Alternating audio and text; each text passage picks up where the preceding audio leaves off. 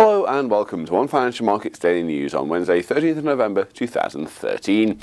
Although German inflation slowed to its lowest level in more than three years during October, the euro progressed against most of its rivals in Tuesday's FX trading. It wouldn't be unfair to say that the German economy pretty much held together the single currency region during the past few years, so news that suggests that demand is falling could be seen as something of a danger sign. However, the markets have already absorbed the eurozone's falling inflation, so while Germany's data certainly could have been better, investors were at least braced for it. They were also able to deflect attention onto the UK CPI rate, which also slowed unexpectedly during October. Elsewhere in FX trading, the dollar was on the up again on Tuesday after the US had Monday off for Veterans Day.